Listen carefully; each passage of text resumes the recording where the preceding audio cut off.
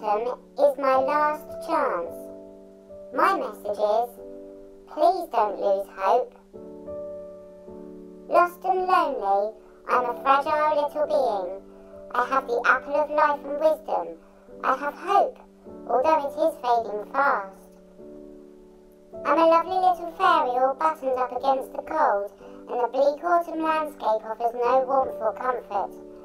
But here in my hands I hold the source of hope and life itself, a bright red apple. With this apple I can sustain myself till the frost-bound landscape thaws. I can save the seeds from my feast and plant them in the warming ground so I need never go hungry again. And the reward of this act will continue far into the future, far beyond my lifetime. I am holding the source of hope, but I'm almost afraid to bite into it. It seems I'm saving it for a rainy day, or for when I have no other choice. Soon, I will realise that I have myself and turn to it for sustenance and comfort, and winter will then be through. It cannot end until I take a bite from the apple I hold. I keep waiting for help, for hope to come, but all about me is cold. I cannot find what I am looking for, and Indeed, I can barely remember what it is I was in search of before I got so lost.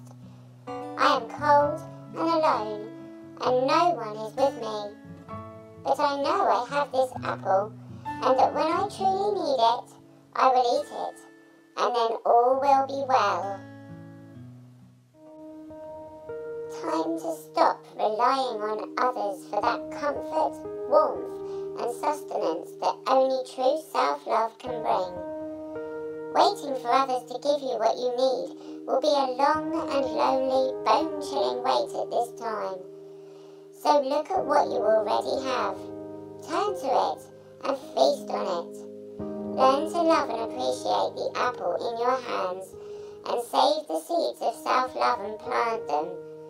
From this one remaining magical apple comes the gift of wisdom comes self-love, comes abundance, and comes the knowledge that you are a person who deserves to care for and love your own self.